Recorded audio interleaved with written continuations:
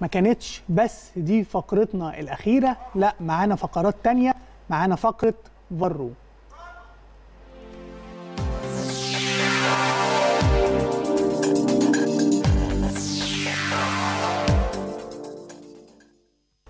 ورجعنا لكم. والعودة المرة دي هي عودة لاستئناف بطولة إفريقيا اللي خفنا للحظة وشكينا إن البطولة دي أصبحت عقدة. إحنا نعمل أقصى ما علينا يجي ظروف خارجية. وقلنا إن البطولة دي إن شاء الله إن شاء الله لو أراد ربنا والنادي الأهلي حققها هيكون لها قصة مختلفة وسيناريو هنشوفه معاكم هنا من جانب تاني خالص. الكاف كان على المحك نتيجة قرار بتأجيل مباريات نصف النهائي ونهائي البطولة مرة أخرى.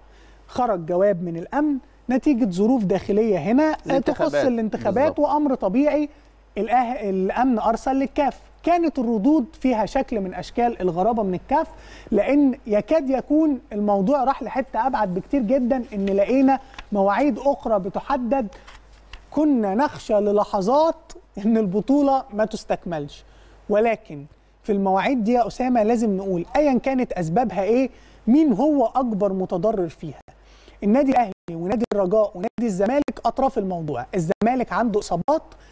صرح مسؤولين الزمالك بشكل واضح. لا ندعي إن هما إحنا كان عندنا خطة من تأجيل المباراة وإحنا كمان كنا حريصين على تأجيل المباراه نقطة. خلاص خلص. بنيجي للرجاء. أكيد لا يخفى على أحد إصابات الكورونا وحرص الرجاء على تأجيل المباراة. طرف واحد فقط.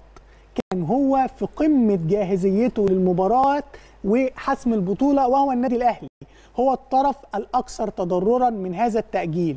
عشان كده لازم نحط في الصورة إن القرارات حتى إن قد يتضرر منها النادي الأهلي ولكن نحن لا نعيش في مظلومية وما بنتكلمش عن مؤامرات ولكن بنقول إن عمليا لازم نسجل النقطة دي إن النادي الأهلي كان الأكثر تضررا من هذا التأجيل.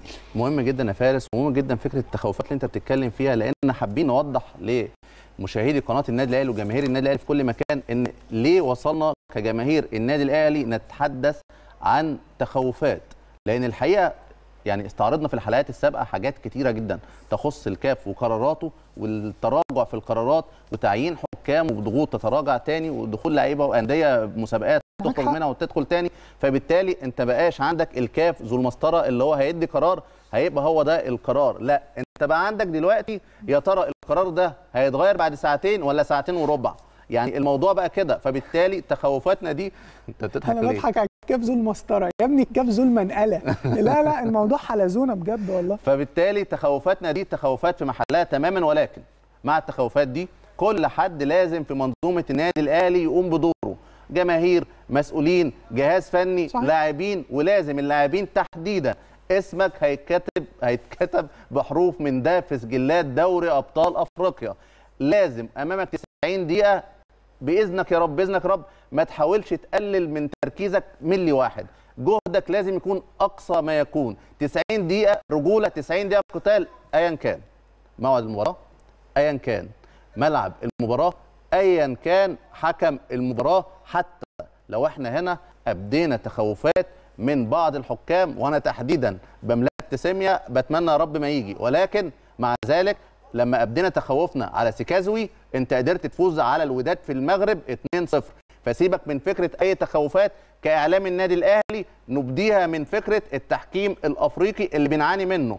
أنت ركز إن يكون مستواك الفني توب ركز إن يكون تركيزك في ال 90 دقيقة هو الأعلى إن دي بطولة هتكتب اسمك بحروف من ذهب في سجلات الشرف داخل النادي الأهلي. كمان بقى هتدعمك معنويا هتبقى في ذكرى وقلب كل مشجع أهلاوي بيحلم بالفعل بالبطولة دي لأنها غابت عن النادي الأهلي. أعتقد فترة أطول مما ينبغي. ده مهم جدا رسالة نوصلها لعيب النادي الأهلي. ركز في الملعب فقط لا غير وسيب الباقي علينا. كل ما هو بره الملعب ما تشغلش بالك بيه. لكن جزء المؤامرات أو نظرية المؤامرة متواجدة بشكل كبير جدا ودائم عند البعض. فحبينا ناخد تصريحات نعقب عليها عشان نوضح فروقات كتيرة جدا ومهمة جدا. نشوف الفيديو ده ونرجع نعقب. أنا أجلت نهائي أفريقيا عشان خاطر آه عشان خاطر آه إن إن في انتخابات مجلس نواب. طب هو أنا بأجل الدور قبل النهائي ليه من 1 نوفمبر أخليه 3 نوفمبر لا كمان مش 3 أخليه 4 لا كمان مش 4 ده كان مقترحين يخلوها خمسة. بس ال- الزمالك. آه، هو اللي قال خليها خليها أربعة. لأنه ادوا إدوا اقتراح لأربعة لخمسة. يعني كانوا عايزين يخلوها خمسة كمان نوفمبر. فخلوها أربعة. وحضرتك بتأجل ليه يا اتحاد يا أفريقي؟ بتأجل ليه اليوم أربعة؟ مش حضرتك بعد ما أجلت خليتها 1 نوفمبر؟ هو انت هو في حاجة في انتخابات الدولة المصرية قالت لك أجل؟ انت حددت يوم 1 نوفمبر بتأجل ليه اليوم 4 هنا السؤال حاجة غريبة جدا. كأنك بتعطي فرصة للفريق الآخر إنه يتعافى أكتر وأكتر. أه، أنا ما عنديش مشكلة إن اللعيبة تتعافى وربنا يشفي الجميع مش دي مشكلتي. مشكلتي اللي بيعمله الاتحاد الأفريقي. هو بالفعل بيعملوا الاتحاد الأفريقي عشان نكون منصفين هو مشكلة. ولكن المشكلة دي حتى الكابتن خالد وهو بيتكلم كان هيغلط ويقول إن الموضوع تم بالاتفاق بين الناديين نادي الزمالك ونادي الرجاء وده اللي أعلنه الكاف في البيان المقتضب اللي اتكلم فيه عن فكرة تأجيل نصف النهائي. اذا كان في اتفاق وهو حاول كان هيقول إن هو كانوا عايزين يعملوا يوم خمسة ولكن فيعني تلعثم في الكلام وحاول يعديها عشان ما يوضحش إن تحديد يوم أربعة هو اتفاق بين الطرفين. ايا كان الموقف إيه فإحنا بنؤكد الكلام اللي إحنا جايين ليه الفقرة دي إن النادي الأهلي غير مستفيد اطلاقا من كمية التخبطات اللي بتحصل دي. بل بالعكس النادي الأهلي هو الأكثر تضررا من كل الفرق الموجودة اللي كانت موجودة في المربع الذهبي من تأجيل أصلا نصف النهائي من البداية ومع ذلك بنقول تركيزنا يا فارس في الملعب والبيع على ربنا. إن شاء الله يا أسامة التركيز ده هيؤتي ثماره ولكن نظرية المؤامرة لا تتوقف وقولا واحدا لا تتوقف. عشان كده محتاجين نقف مع تقييم كابتن خالد الغندور لبكاري جسام. كابتن خالد الغندور بمجرد السماع أو الإعلان عن إن بكاري جسامه حكم محتمل لمباراة الرجاء والزمالك. كابتن خالد الغندور كان له رأي. مهم جدا نقف عند الرأي ده. نطلع ونشوف الأول هو قال إيه. أنت بتجيب بكاري جسامة اشمعنى؟ اشمعنى بكاري جسامة؟ اشمعنى في الماتشات المصريه بيكون بكاري جسامة؟ واسمعوا عمرو مصطفى مراد فهمي بيقول إيه عليه؟ بيقول إيه عليه؟ كلام خطير جدا. آه النادي الأهلي اشتكاه قبل كده فخاف واترعب. راح راح هناك آه، ماتش سان داونز التاني راح آه، آه، مرضاش يطرد أحمد فتحي. خاف. النادي الأهلي عمل له رعب. النهارده نادي الزمالك أنا على على حد علمي يعني قيل إن هو هيودي جواب يتساءل إشمعنى بكاري جسامة يعني؟ اللي هو يوم الأربعاء إشمعنى؟ على العموم أنا بعمل الفيديو ده تحذير للاتحاد الأفريقي وبكلم إخواتنا هناك في المغرب. بكاري جسامة في تقنية فار. أي مش ه... مش هتتكرر بقى موضوع بيراميدز و...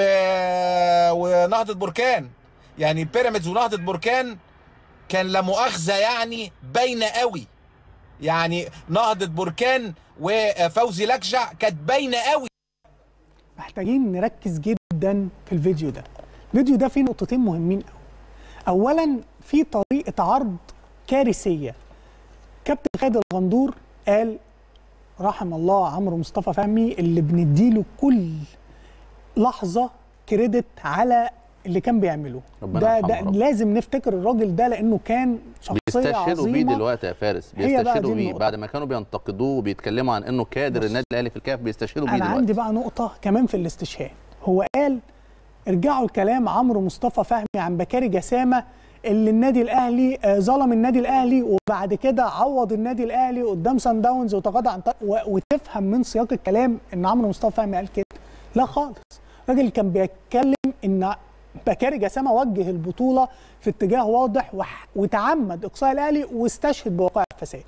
مش بس هو النهارده بيستشهد بعمرو مصطفى فهمي لأن الشخص صاحب السيرة الرائعة اللي فعلا مواقفه هتفضل باقية هو اللي هيجبرك في يوم من الأيام لأن هو ذو حيثية ولأن هو شخص نظيف إن أنت تستشهد بيه إن أنت تجيب كلامه. الأهم كمان في الكلام حاجة طريفة جدا. كابتن خالد غندور لما حب يشير على صفحته الصورة نزلها من صفحة بيتكلم شاهدوا ماذا قال كابتن عمرو مصطفى فهمي عن بكاري جسامة ومن صفحة مكتوب عليها الأهلي نادي القرن الحقيقي. يعني أنت متخيل كمان اسم الصفحة فاحيانا الموضوع بيجبرك. بس أنا عايز أقول لك حاجة. أنت بتتكلم إن بكاري جسامة حكم سيء وليه وقائع قبل كده. طب ما بنفس المنطق اللي انت برضو اتكلمت بيه تعالى بقى نكلمك بمنطقك انت اتكلمت عن سيكازوي اللي إحنا كنا عندنا واقعة فساد واضحة ليه في أول أغسطس ومباراته مع الترجي واللي حصل له إيقاف فيها. يعني عندنا واقعة فساد أكيدة. جيت انت بعد المباراة طلعت قلت إيه؟ إن هو كان حكم ممتاز. إحنا بقى بنقول لك رسالة. طب ما تستنى ما يمكن بكاري اللي بقى حكم الفار حكم ممتاز. بنفس المنطق مش من حقك تتسرع في الحكم. ده اللي إحنا بنقوله. النادي الأهلي لما بيتكلم عن حكم أو بيستاء من حكم أو بيتخوف من حكم بيكون في موقف سلبي مع النادي الأهلي. لكن ما كناش بنشوف ابدا النادي الأهلي بيعترض على التحكيم من قبل التعيين خالص ولا حتى دلوقتي بنشوف ولكن جماهير النادي الأهلي من حقها تبدي تخوفات لكن لما أنا أمر ببطولة سوبر أفريقي بخسرها بحكم يثبت بعد كده رشوته ولما أخسر بإيد انرامو امام الترجي ويثبت رشوته فلازم أنا كجماهير النادي الأهلي أتخوف. وكمان من بكاري جسامة له مواقف سلبية معايا فلازم أنا أتخوف منها. لكن هو ما كانش له مواقف سلبية مع الكابتن خالد. لكن أنت بتخوفك من بكاري جسامة. أصلا رأيك في بكاري جسامه كحكم إيه؟ نشوف الفيديو. إيه سبب خسارة الأهلي في كأس أفريقيا؟ هو إيه سبب إن بكاري جسامة حكم أكثر من رائع وحكم خمس آه، نهايات متتالية وصعد بمصر كأس العالم بضربه جزاء في الدقيقة 94 وإيه سبب إن بكاري جسامة بقى مرتشي؟ وهل فعلا الحكم كان هو الأساس في عدم استطاعة آه، آه، نادي الأهلي الفوز بالبطولة. وهل بكاري جسامة هو اللي حكم اللقاء الأول اللي انتهى بالتعادل واحد واحد ما بين النادي الأهلي؟ هو بكاري جسامة. لما الأهلي يعترض عليه يبقى حكم من أفضل الحكام وأسباب اعتراضكم إيه؟ طيب لما يتعين نادي الزمالك الحق ده حكم مغرض. طب غيروا بكاري جسامة يا كابتن خالد وجابوا لك السنغالي نضاي. لا ده جاي لغرض أيضا. وهيحطوا بكاري هي دي المشكلة. هي دي المشكلة إن أنا عندي أزمة دايما من قبل المباراة ما تتلعب وما عنديش أي مواقف سلبية مع التحكيم. كنا حابين نلقي الضوء على النقطة دي تحديدا عشان نوضح الاختلافات والفرق بين التعامل الإعلامي مع اللي بيحصل في الكاف في نادي الأهلي وأندية منافسة.